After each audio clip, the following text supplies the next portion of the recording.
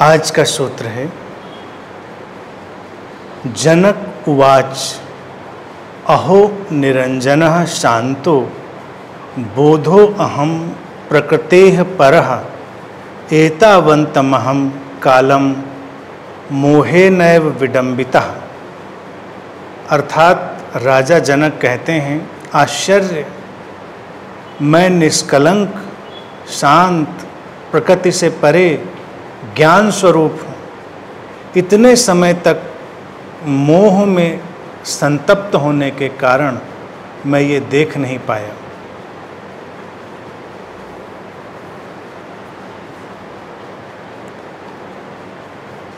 अहो निरंजन शांतो, बोधो अहम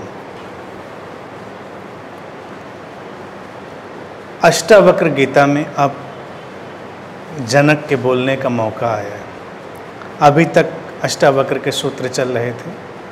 पहली बार जनक का बोलना घटा है। इतिहास में अगर देखा जाए, ये दुर्लभ घटनाओं में से घटना रही। किसी भी गुरु के जीवन के लिए ये दुर्लभ घटना है कि ऐसा शिष्य हो जो बस चंद बातें सुनने के बाद ज्ञान को उपलब्ध हो जाए। बोध को उपलब्ध हो जाए। जनक को बोध घट गया इनलाइटनमेंट हो गया। अष्टावक्र को भी थोड़ी देर हुई बोलते हुए। बस उन्होंने समझाया, ऐसा है ऐसा है। और जनक बोध में प्रवेश कर गए। सरल है ये बात। ये बात ऐसी ही है और भारतीय दर्शन में देखा जाए, दो बड़ी महत्वपूर्ण धाराएँ और दो महत्वपूर्ण धर्म ग्रंथ या स्पिरिचुअल जो लिटरेचर है, वो पैदा हुआ। एक गीता, जहाँ पर कृष्ण और अर्जुन का संवाद, और एक ये अष्टावक्र गीता, जहाँ अष्टावक्र और जनक का संवाद। दोनों अपने मामलों में अनूठी हैं। गीता सुंदर है, लेकिन अगर देखा जाए वो जन सामान्य के लिए, समझाने के लिए, और तमाम तरह की बातें उसमें समझाई गई। भारतीय आध्यात्मिक साहित्य की जो सबसे खूबसूरत चीज़ है, यहाँ पर हम जो कैरेक्टर भी लेते हैं, उनके नाम भी गढ़ते हैं, उन नामों के अंदर भी हम देशनाओं को, टीचिंग्स को डाल देते हैं। क्योंकि यहाँ कोई इतिहास लिख नहीं रहा। यहाँ कोई ऐसी कहानी नहीं बनाई जा रही जो बेमतलब की हो। तो पात्रों के नाम भी अगर हम समझें तो उसमें भी पूरी बात छुपी होती है। अर्जुन शब्द जैसे है तो वो है अरिजु, जो सीधा नहीं है, टेढ़ा मेढ़ा। सामान्य मन जो व्यक्ति का है वो अरिजु है, टेढ़ा मेढ़ा, उलझा हुआ है। तो उलझे हुए मन से कृष्ण संवाद कर रहे हैं। वो उन मनुष्यों के लिए है जिनका मन अभी अरिजु है। अरिजु जन जो हैं, अब टेढ़े मेढ़े मन को तो टेढ़े मेढ़े रास्तों से ही ले जाया जाएगा, क्योंकि उसका ढंग वही है। और गीता में देखा जाए, आखिर तक वो समझा भी कहाँ? सुनता रहा, खुश होता रहा, और आखिर में भी समझ नहीं आई, बस काम हो गया। जो काम होना था, वो घट गया। कृष्ण ने अपने ढंग से उसको कन्विंस कर दिया तात्कालिक रूप से। एक मन ऐसा भी है, खोजने वाला जो तमाम तरह के उपायों, विधियों, इन सब की खोज करता है, तमाम तरह के तर्क, वितर्क, प्रश्न,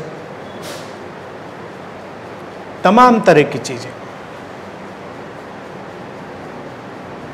और फिर भी वो कहीं पहुँचता नहीं। तो एक तो वो ढंग। लेकिन संभावना उसमें भी छुपी हुई है, अगर व्यक्ति उस संभावना के साथ यात्रा करे। तो गीता का जो मैसेज है, उसमें भी बहुत सारे सूत्र हैं पॉसिबिलिटीज़ हैं उस टेढ़े मेढ़े मन के लिए।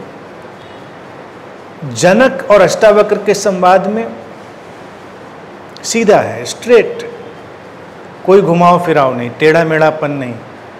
और जनक शब्द भी यहाँ पर जो आया, वो भी बड़ा खूबसूरत। जैसे अष्टावक्र का शब्द था, उसको भी हमने पहले डिकोड किया। जनक शब्द का अर्थ होता है जन्म देने वाला। जो किसी भी घटना, प्रक्रिया, समझ, उसको जन्म देने के लिए तैयार है। तो जनक वो मन है, वो माइंड है जो अब इतना मैच्योर हो गया है कि उससे जन्म की संभावना पैदा होती।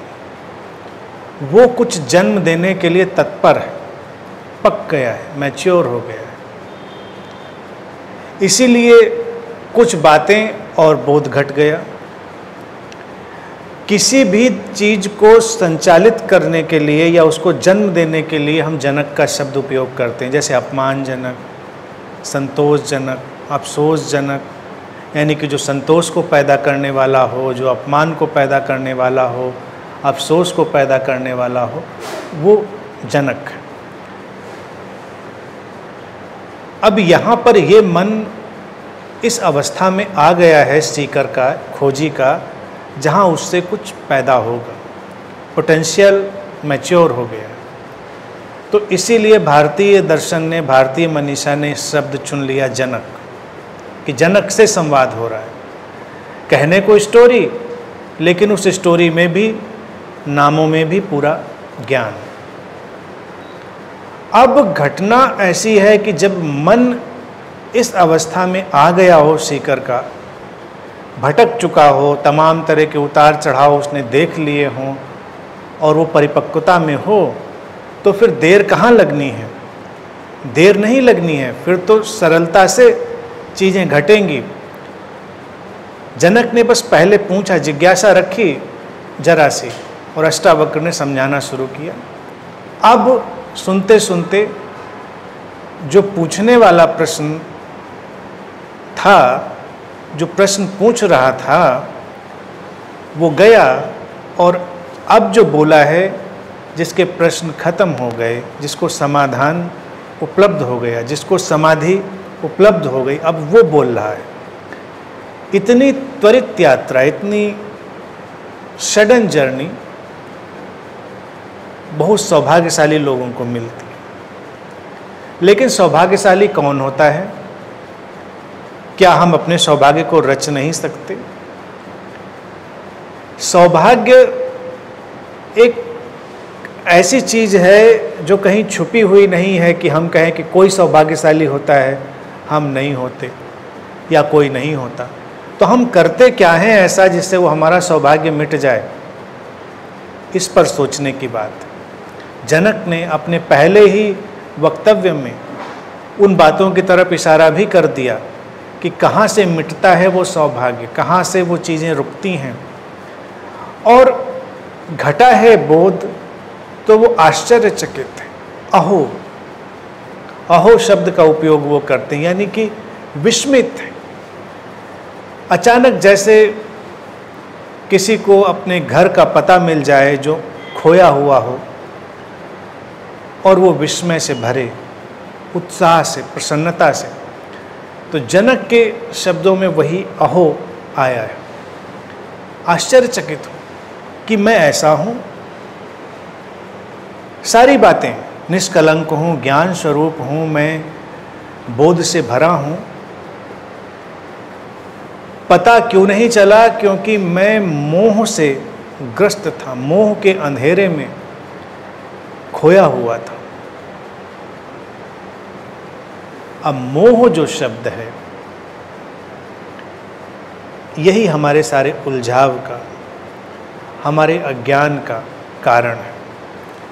समाज में हम मोह का उपयोग भी कैजुअली करते हैं और कई बार प्रेम, मोह, इन सबको गड्ढ मड्ड कर लेते हैं। मोह शब्द सीधा है। मोह का शब्द जो है, उसका जो अर्थ है, मेरे की भावना। जिसको हम अपना मान लेते हैं, वो मोह बनता है। हम अपने कृत्यों को अपना मान लें, मोह बनता है। हम अपने विचारों को अपना मान लें, मोह बनता है। मोह के अंधेरे में, मोह के चलते हुए अब तक ये छुपा हुआ था स्वरूप, जनक इसकी बात कह रहे हैं।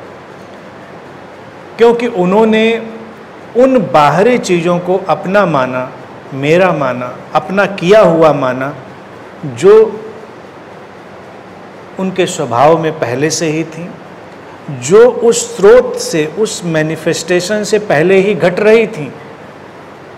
अब जैसे कोई खोया है, भटका है, वो उसको अपना होना माने, यानी कि मैं भटक रहा हूँ, मैं खोया हुआ हूँ तो ये भी मोह है। मोह का अर्थ इतना ही नहीं होता कि आप संबंधों में मोह पैदा करते हैं, पकड़ के रखते हैं किसी चीज़ को। पकड़ते हम हैं ही क्यों किसी चीज़ को?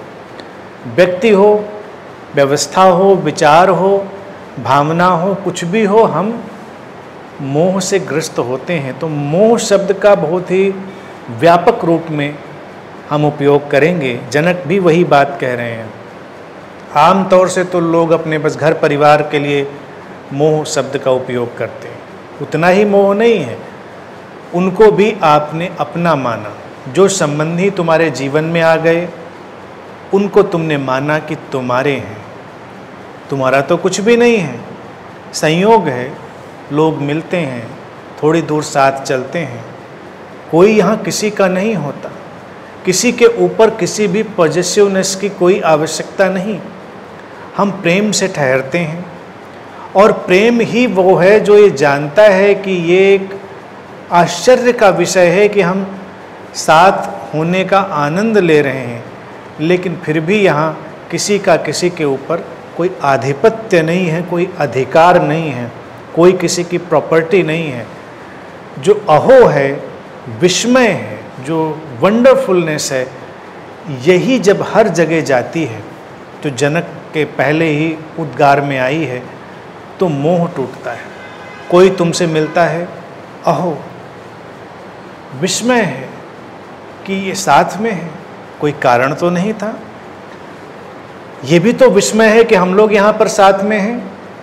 कोई कारण तो नहीं था। लेकिन हम हर चीज़ को रूटीन बना लेते हैं, हर चीज़ को क्योंकि ऐसा तो होना ही था, ऐसा तो ज़रूरी था, कुछ भी यहाँ ज़रूरी नहीं है। तो उन चीज़ों को जब एक्सप्लोर करना हम शुरू करेंगे तो हमको वो नींव दिखाई देगी जिसके चलते हुए हमारा बोध हमसे दूर बना रहा। हर वो चीज़ जिस पर हमने अपनी पकड़ बना ली। अस्तित्व किसी पकड़ पर भरोसा नहीं करता। वो कोई यात्रा नहीं है। वो अभी और यही है। जैसे एक शब्द उपयोग करते हैं अक्सर। न्यू एज टर्मिनोलॉजी भी है। ध्यान और अध्यात्म में भी बहुत लोग उपयोग करते हैं। अभी और यहीं हो जाओ। बी नाउ एंड हियर मैं भी बात ऐसी बोलता हूँ अक्सर, लेकिन वो अर्जुनों से होती है, जनक से नहीं। जब जनक लोग होते हैं, तब ये बात तो नादानी है। तुम और हो भी कहाँ सकते? Where else you can be तुम यही हो। और तो उपाय भी नहीं कहीं होने का। लेकिन अगर कोई इतनी नींद में हो, और मोह से उसने कहीं अपने को अतीत में मान रखा हो, कहीं भविष्य में मान रखा हो, कहीं उसने पकड़ रखा हो अपने को तो उसको कहा जा सकता है कि भाई वर्तमान में आ जाओ। आ जाओ क्या? तुम तो वहीं हो। जाओ का मतलब क्या? कोई विकल्प वहीं के वहीं हो। यही बात अष्टावक्र जनक को बोल रहे हैं, लेकिन ये परिपक्व मन हो गया। वो कह रहे, तुम यही हो, बोध से भरे हो। तो बस सुनते सुनते वो जान गए कि बोध से भरा हूँ। निष्कलंक, बोध स्वरूप, प्रकाश स्वरूप। वो कहते हैं कि तुमको बोध को उपलब्ध होना है, यात्रा करनी है, तुमको ध्यान, साधना, समाधि कोर्सेज बहुत सारी सीढ़ियाँ चढ़नी हैं। तो वो भी एक मोह है। मोह का एक रूप वो भी है। क्योंकि तुमको लगता है कि तुम कुछ करोगे तो कुछ होगा। जो पहले से ही है, उसके लिए तुम क्या करोगे? बोध है। रुका कहाँ से है? किस दरवाजे से हमने उसको बंद कर दिया है? बस उसको देखना।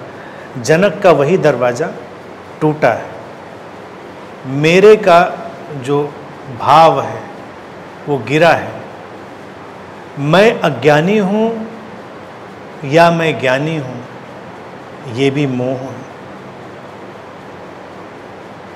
किसने तुमको बताया कि तुम अज्ञानी हो? लोग कहते हैं कि मैं ज्ञान की तलाश में हूँ, मैं अज्ञानी हूँ तो उनसे पूछे, किसने बताया? ज्ञान का पैमाना क्या है? इन्फॉर्मेशन सूचनाएँ? सूचनाएँ तो ज्ञान का पैमाना नहीं। तुम वैसे ही हो जैसे इस क्षण में तुम हो सकते हो। पूरे अस्तित्व ने, उस टोटल एग्जिस्टेंस ने तुमको इस क्षण में वैसे का वैसा ही रखा हुआ है। वो टोटलिटी है, वो परिपूर्णता है कंप्लीटनेस है। इसको देख लेना। लेकिन हम जब मुँह से भरते हैं तो हमारे पास दो ही विकल्प होते हैं। या तो हम अतीत को खंगालें, या हम भविष्य को खंगालें।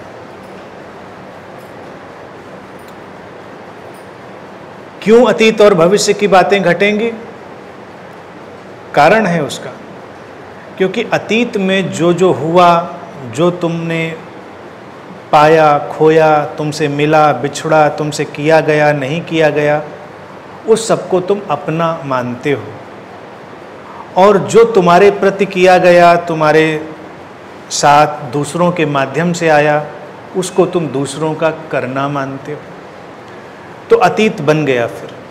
अतीत का स्टोर हाउस निर्मित हो गया।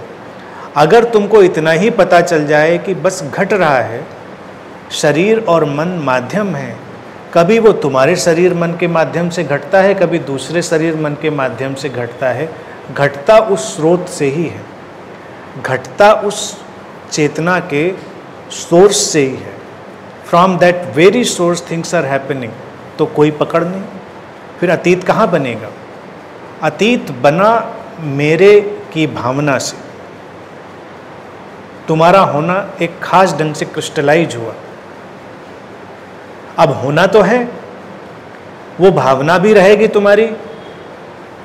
बात बहुत समझने की है। तुम कहोगे कि क्या फिर मेरा होने का भाव मिट जाएगा? नहीं, तुम्हारे होने का भाव होगा, लेकिन बड़ा शुद्ध क्रिस्टल क्लियर अभी तो तुम्हारा होना कुछ ना कुछ है। ये या वो दिस आर दैट तुम या तो ये हो या वो हो। लेकिन एक होना ऐसा है जो शरीर मन की आइडेंटिफिकेशन से पैदा होता है, वो बस होना है। अलगाव है, स्रोत से सेपरेशन है, इसीलिए वो ईगो भी है, तभी फ़ंक्शन भी होगा। लेकिन इस ईगो पर जब तुम अपना रंग लगाते हो तो वो तुम्हारे लिए दुख का विषय बनता है और अज्ञान का विषय बनता है और भटकने का विषय बनता है।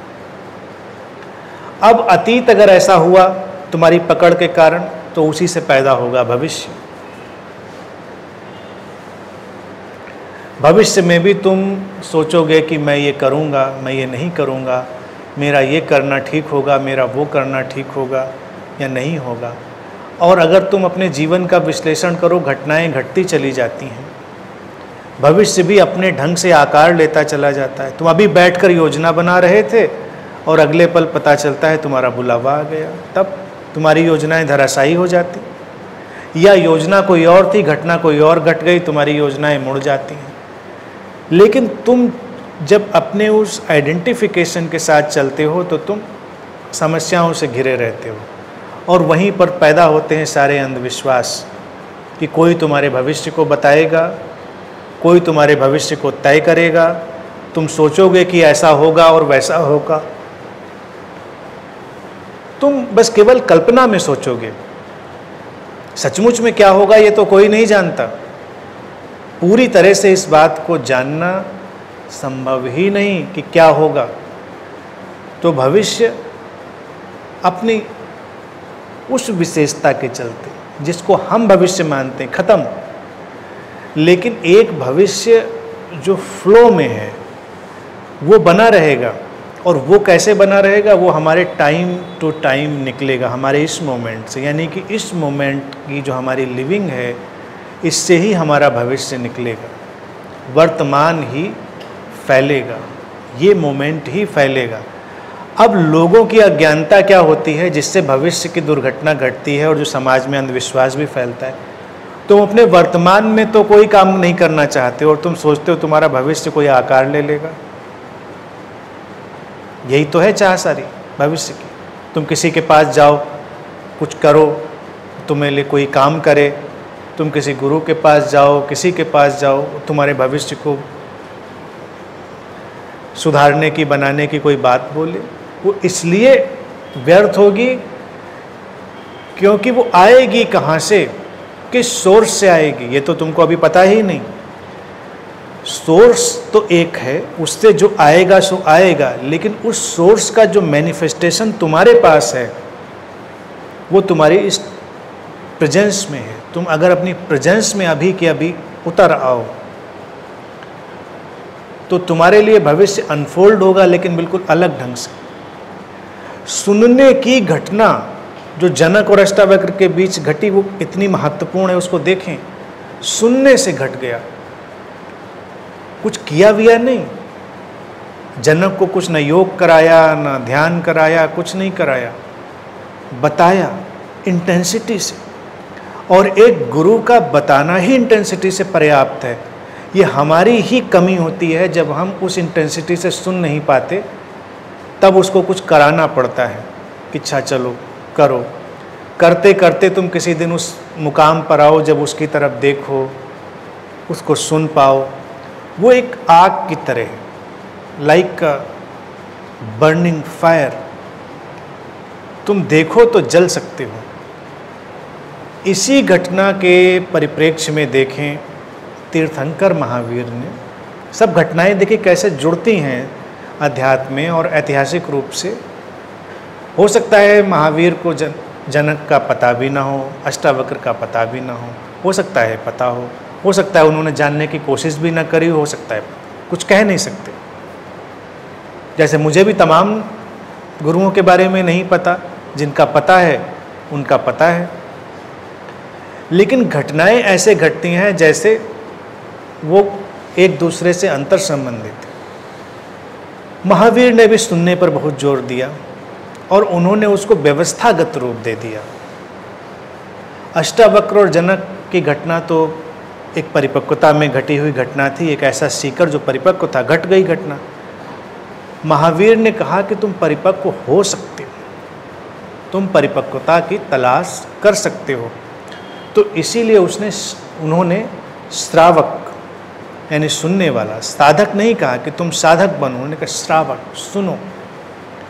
अगर तुम सुन सकते हो तो घटना घट सकती है। और श्रावक बोलने के अलावा जो उन्होंने काम किया, वो ध्यान का जो ढंग उनके माध्यम से निकला, उसको उन्होंने कहा सामायिक, समय में प्रवेश। महावीर की ध्यान की विधि का नाम है सामायिक। अब सामायिक कोई विधि नहीं है। वो मेथडलेस मेथड है। वो कह रहे हैं, समय में प्रवेश कर जाओ, बस बैठो शांत साइलेंट और बस समय में प्रवेश कर जाओ। समय में प्रवेश का अर्थ है, अतीत और भविष्य से अलग। वो हमारे साइकोलॉजिकल टाइम है। जो रियल टाइम है, वो है प्रेजेंट वर्तमान, उसमें आ जाओ। अपने प्रेजेंट को तुम टोटली कंप्लीटली एब्सोल्युटली जियो तो वो हो गया सामायिक। अब अगर कोई सामायिक भी साधने लग जाए तो भविष्य में निकल जाएगा। साधोगे तो घटना कहीं भविष्य में होगी। और घटना तो अभी ही होगी। कितने ध्यानी हैं जो ध्यान में कभी बैठते हैं और ये मानकर बैठते हैं कि अभी होगा या कभी नहीं होगा। कम से कम रोज इस बात को सोचा तो जा सकता है, या भी या कभी नहीं। लेकिन हम लोग तो कन्विंस्ड हैं, बैठते रहेंगे बैठते रहेंगे। साल दर साल, जन दर जन, चलता रहेगा। तो स्वाभाविक है, हमने टाइम पैदा कर दिया, हमने भविष्य पैदा कर दिया, वो खिंच जाएगा, वो लंबा होगा, और रचा हमने ही है। अगर हम उस सोर्स के मैनिफेस्टेशन हैं तो हम भी वही रचनाकार हो गए। वी आर को क्रिएटर हम को क्रिएटर हो गए। इसीलिए जनक शब्द यहाँ पर बहुत खूबसूरत ढंग से आया है इस संवाद में। जन्म देने वाले, रचने वाले, हमारा मन जब परिपक्वता में है तो हम भी रचने वाले हैं। अष्टावक्र से सुनने वाला जो सीकर है, वो रचने वाला है। ही जनक क्रिएटर तो क्रिएटर एक तो सोर्स है, जिससे सब कुछ रचा जा रहा है। और सोर्स से ही चूँकि हम भी निकले हैं तो हम भी क्रिएटर हैं, हम भी जनक ही हैं। अब उसको हम को क्रिएटर कह लें, तब भी बात ठीक है कि यानी सह सृजन के हम यात्री हैं। तो अब जब संभावना हमारी इतनी बड़ी है तो हम चाहें तो भविष्य फैलाएँ, भविष्य की रचना करें। हम चाहें तो अभी के अभी उस बोध में प्रवेश कर जाएँ। चाहे तो हम भी जनक की तरह कहें, अहो, मैं तो निष्कलंक हूँ, ऐसा हूँ, बोध स्वरूप हूँ। लेकिन हमने अभी उसको होल्ड पे रखा हुआ है। हम एग्रीड नहीं है कन्विंस्ड भी नहीं है। हमको लगता है, ठीक है ठीक है, होगा होगा, करेंगे। अभी जल्दी भी क्या है? जनक को जल्दी होगी भाई, हमको तो जल्दी नहीं है। फिर हमारे दिमाग में बहुत घूमने लगता है कि कितना तो स्पिरिचुअल साधना का जाल है, कितनी ध्यान विधियाँ हैं, कितने पैकेज कितने कोर्स कितना सिस्टम उसको भी कुछ जाने, उससे गुजरें। तो जितने भी ये सब सिस्टम पैकेज बनते हैं, ये अर्जुनों के लिए हैं। घूमते रहो, टेढ़े टेढ़े, मेढ़े मेढ़े। और जब जनक बनोगे क्रिएटर बनोगे सृजन करने वाले बनोगे तो ये सब घुमाव की इस जाल की ज़रूरत नहीं। फिर गुरु की प्रेजेंस पर्याप्त है। गुरु का होना पर्याप्त है। भारत में इसीलिए बड़ा ही विरोधाभासी प्रेजेंटेशन हुआ। गुरु का होना और न होना, जिन गुरुओं की प्रेजेंस बहुत ज़्यादा सृजनात्मक और बहुत ज़्यादा रूपांतरण लाने वाली थी तुम देखोगे उन्होंने हमेशा गुरु का इनकार किया। और जो गुरु गोबर गणेश रहे और गोबर गणेशों को पैदा करने वाले रहे, वो गुरुओं का बहुत महत्व बताते रहे कि गुरु तो ज़रूरी है, गुरु के बिना काम नहीं बनेगा। और ये कबीर ने भी कहा, लेकिन कबीर का ढंग अलग है। कबीर उस श्रेणी में नहीं पढ़ते क्योंकि जब गुरु बैठता है और अपना ही गुणगान करता है, जो कि तमाम जगहों पर तुम देख सकते हो तो इनडायरेक्टली वो अपना ही तो गुणगान कर रहा है। अगर मैं यहाँ पर तुमको बैठ कर कहूँ कि बिना गुरु के काम नहीं होगा तो इनडायरेक्टली यही कि मेरे बिना काम नहीं होगा। तुमको मेरे पास आना ही पड़ेगा, और मैं तुमसे हमेशा कहता हूँ कि बिना आए भी बन जाएगा, आओगे तब भी बन जाएगा। और ये बड़ी हैरान करने वाली बात है भारत में। अष्टावक्र जनक को तो समझाते हुए मिलते हैं, इसके बाद कोई रिकॉर्ड नहीं कि और कहाँ वो समझा रहे थे किसको। है रिकॉर्ड मुझे नहीं पता। कि और कहाँ प्रवचन दे रहे थे, कहाँ उन्होंने आश्रम खोला और कहाँ उन्होंने शिष्य बनाए। एक जनक को समझाया, चले गए। भारत से ज़्यादा वैज्ञानिक काम करने वाला अंतर जगत में कोई देश नहीं रहा। और यहाँ के मास्टर्स तो बड़े अनूठे हैं। अष्टावक्र बातें सारी कहेंगे और सीकर के सामने डटे रहेंगे। यानी कि जो जलती हुई आग है, वो तो सामने जल रही है। तुम्हारे लिए कदम उठाने की ज़रूरत है कि तुम उसमें छलांग लगाओ। फिर दूसरा सबसे बड़ा नाम आता है बुद्ध का। यूँ तो लगता है कि वो सन्यासी बना रहे थे, दीक्षा दे रहे थे। लेकिन गुरु को इनकार करने वाले लोगों में से वो भी उतने ही बड़े थे, जो कहते हैं कि तुम्हें अपने आप ही चलना है, अपने आप ही खोजना है। और बुद्ध को मैं साहसी भी कहता हूँ। साहसी ये कि वो वो बात भी कह रहे हैं और सामने वो सहयोग देने के लिए खड़े भी हैं, क्योंकि वो दोनों मैकेनिज्म जानते हैं कि उनके खड़े होने से बात होगी। तो वो भाग भी नहीं रहे, खड़े हैं, लेकिन ये भी कहते हैं कि मोह में मत पड़ो, यानी कि जो प्रेम में पढ़ो लेकिन मोह में नहीं कि। तमाम जगह जैसे लोग हैं, बस मेरा मान कर बैठ गए हैं और आगे तो बढ़ते नहीं। धार्मिक लोगों ने मेरा मान लिया, ये मेरा धर्म, ये मेरी किताब, ये मेरे भगवान, ये मेरी चीज़ें, बात ख़त्म। दैन बुद्ध के समकालीन महावीर उनके पीछे भी परंपरा चलती है, लेकिन वो भी अकेले चलने वाले व्यक्ति अलोन वो भी गुरु मटेरियल नहीं. उनके पीछे पीछे कब, कहाँ से ये सब टेढ़े मेढ़े चलने वाले लोग आ गए, ये मुझे नहीं पता. लेकिन जैसा कि मैं उनको जानता हूँ, जंगल में रहने वाला, मौन रहने वाला, अकेला चलने वाला व्यक्ति, जो बैठा है पेड़ पौधों से भी बात करता है, चट्टानों से भी बात करता है पशु पक्षियों से भी संवाद में है. उसको ढूँढने वाले लोग चले आए। उसने अपनी बात शेयर कर ली।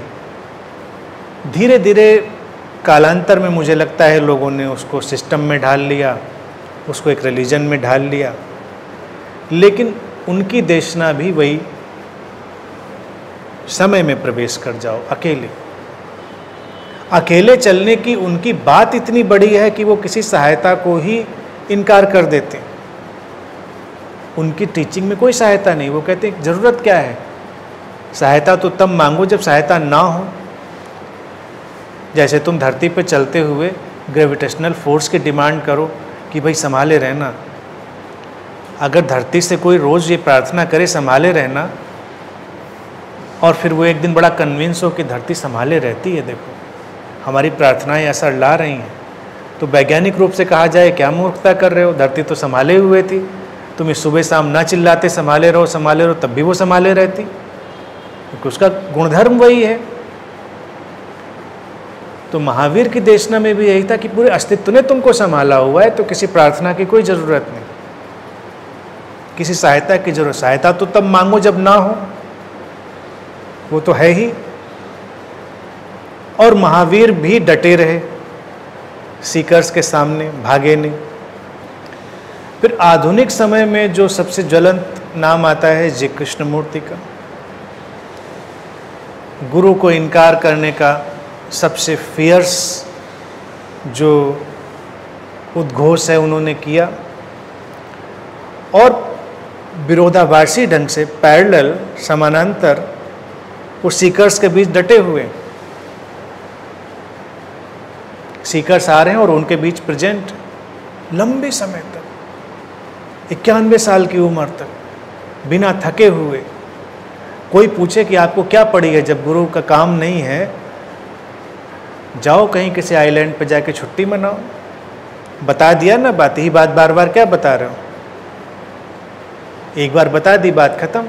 आज के टाइम में तो बता के यूट्यूब पे वीडियो डाल के कहीं चले जाओ आइलैंड पे। लोग देखते रहेंगे। सर्च करके गुरु की कोई ज़रूरत नहीं। नो नीड ऑफ़ गुरु। लेकिन उससे तो काम नहीं होगा। उस यूट्यूब के वीडियो से काम नहीं होगा, किताब में लिख जाए, उससे काम नहीं होगा। प्रेजेंस चाहिए। लाइव प्रेजेंस चाहिए जो काम करेगी। भारत में इसको हमेशा से जानते रहे गुरु लोग। अब उनका काम ऐसा दोहरा है कि उनको तो पता नहीं कि ये आने वाला जो सीकर है अर्जुन है या जनक। तो थोड़ा उसको चलाए रखना पड़ता है। चलाए रखने के लिए कभी उसको डिस्कोर्स कभी विधियाँ तो कभी ध्यान शिविर, ये सब कराना पड़ता है। और जब वही अर्जुन जनक बन जाए क्रिएटर बन जाए, जन्म देने वाला अपने को बन जाए, तब उससे सीधी बात, वही हो तुम यू आर दैट और बस वो आँखों में देखेगा और कहेगा कि, अहो, मैं तो वही हूँ। अब तक कैसे मैं इसको नहीं देख पाया? यह आश्चर्य है। बात खत्म। तो गुरुओं का काम इसलिए बड़ा टेढ़ा है।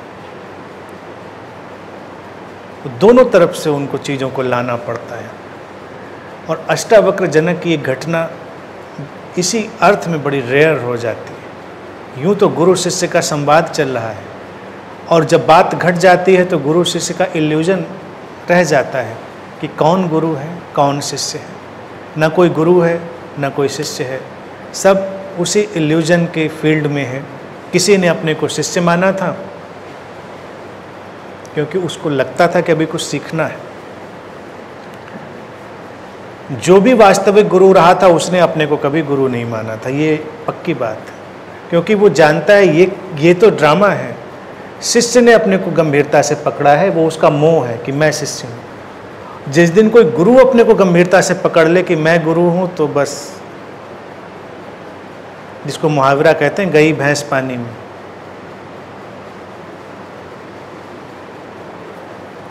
गुरु कभी गंभीरता से नहीं पकड़ता, क्योंकि वो जानता इल्यूजन है। मैं भी वही हूँ, तुम भी वही हो। एक ही चेतना है I am that you are that तत्वमसी। तुमको बस अहो बोलने की ज़रूरत है। और अर्जुन से जनक तक जाने की ज़रूरत। ठीक है? आज के लिए इतने